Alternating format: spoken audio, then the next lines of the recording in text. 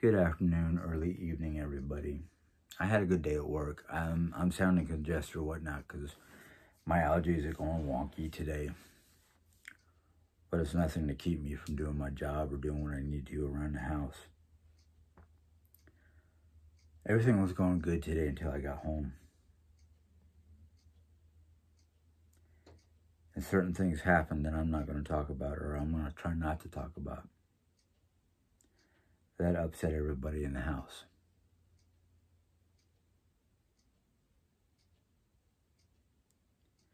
I was ready to jump up and take action. Mom left it in our hands. Jerry told me she'll deal with it. That's fine. I had to put my my mind and my body into better usage than getting all hot and bothered by the stupidity and cowardice of this person.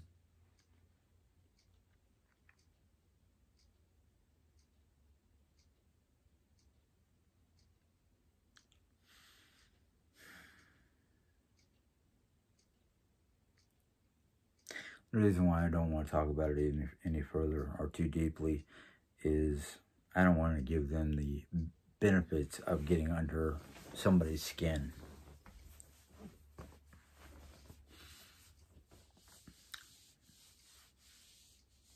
I said it before and I'll say it again. You you guys can get mad at me and Jerry in the whole nine yards, but leave the rest of my family out of it. They don't know much. Jerry's family probably knows more than my family because I keep my issues under control now.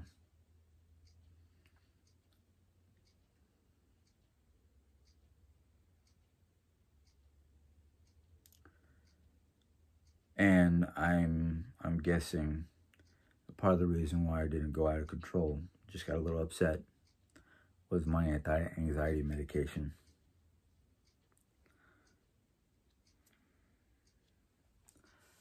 Now, whether I take, you know, my issue and talk to the doctor about it, that's my choice.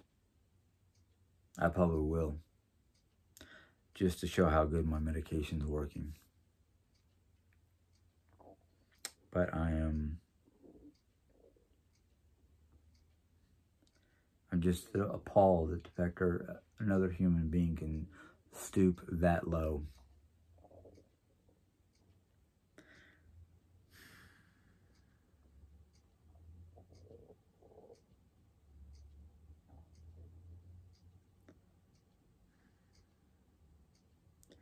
But I will be on the lookout for any information or any more stuff that comes our way. Because it's one thing if you want to ask my mom or send my mom a polite question she'll either ignore it because the fact is none she'll be like me, it's none of your business. If we wanted to be um, your business, we'd talk about it. Mom doesn't want to because she's not worried about it.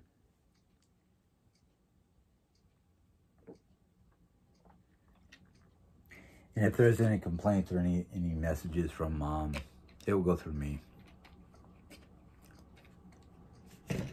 Because I ask her from time to time, are you happy? Are you content? What is there, is there something we can do to, to make things better?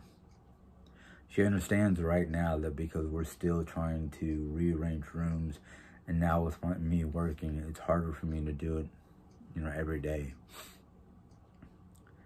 Um,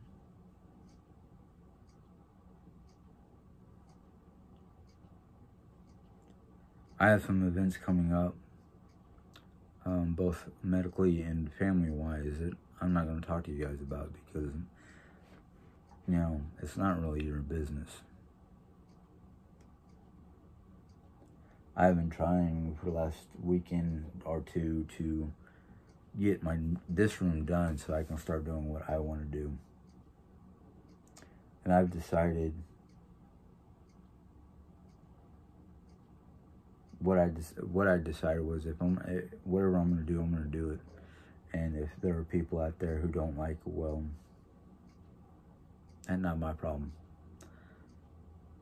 I've had plenty of viewers and whatnot who stuck with me since the beginning, who likes my Bible chats and my historical chats, and basically nobody except for a select handful of people that have already left um, has made any complaints about how I do stuff or what I do.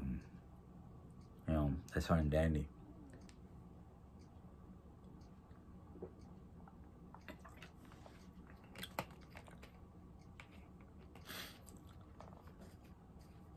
I really don't worry about the people at the, at the gossip bakery or whatever it's called anymore. Why? Because they're like a bunch of little children, or in some cases, like rabid dogs. If you don't feed them what they want to be fed, they turn on you. It's fine. It's fine.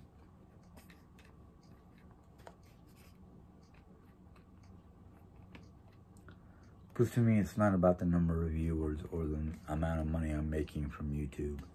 It's the enjoyment of doing what I'm doing. And if other people enjoy it, great. If other if there's some people who don't enjoy it, I'm sorry. Like the old saying goes, you can only please some of the people some of the time, but not all the time. So.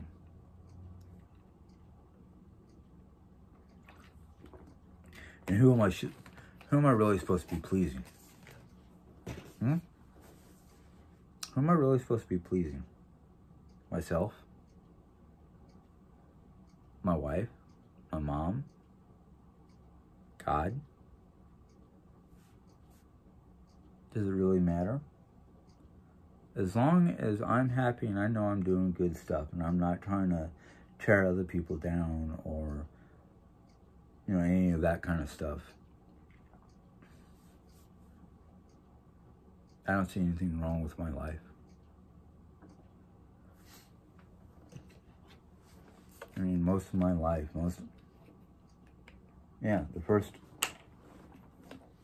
14, 13, 14 years of my life, I didn't know nothing about bigotry, racism, the differences in religion. I knew one simple thing. We're all here for a purpose. And in the military, the purpose is to protect this country and protect each other. I, I went through basic training. Didn't make it all the way through because of health issues, but I learned one thing. Brotherhood. Doesn't matter how long you were in the military. It doesn't even matter if you went to, into the military. If you were the son or the grandson of a military person, you're part of the brotherhood.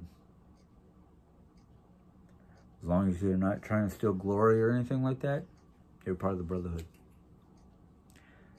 Mankind before the Tower of Babel spoke the same language. We were all considered in a family. We were all considered family. But one person had to mess it up. Yeah, I made I might have stirred the hornet's nest and gotten everybody, you know, all hyped up because of the factor of my problems with, with Jerry at the time. I was frustrated, tired, annoyed, done with doing all the extra stuff, just done, you know, feeling like I'm trapped. We all have that feeling once in a while. There's no shame in it. The shame was the fact that I, you know, how I tore into my wife. And you got all these people who love negativity jumping on my bandwagon. But as soon as as soon as soon as I woke up and realized that no, that's not the right way of doing stuff, I started going back to my roots and my origin of my channel and whatnot, people started, you know, bailing out, jumping ship.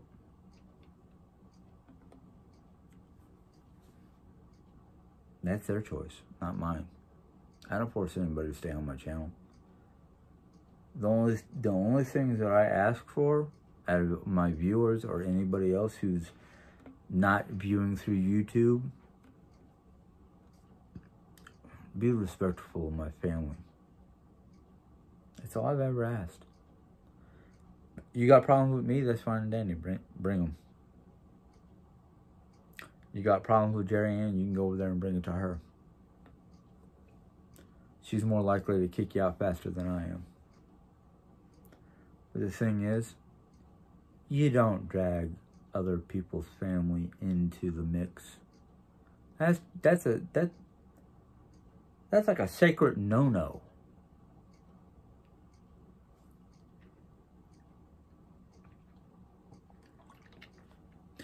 And those people who did this, I don't know you guys. You don't know me. You don't know my family. Yet you wanna you wanna drag my mom into this?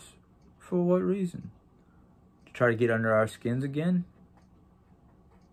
No. There's ways of dealing with that. There's ways of dealing with that. And I particularly don't care. Because you're the one doing wrong. And one way or another, you'll get your comeuppance. One way or another, you'll get your comeuppance.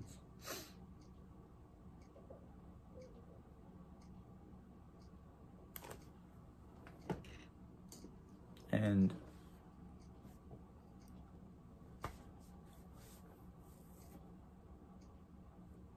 you know, I don't care.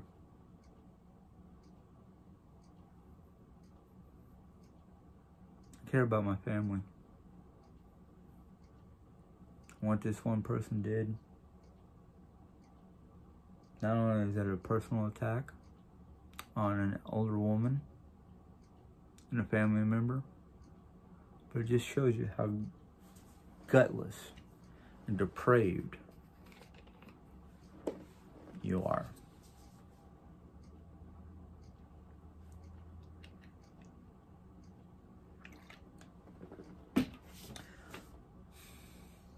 I don't care if you guys hit the thumbs up, thumbs down button. I don't care if you put a comment in my in the comment box today. I really don't. You can subscribe. You can get out.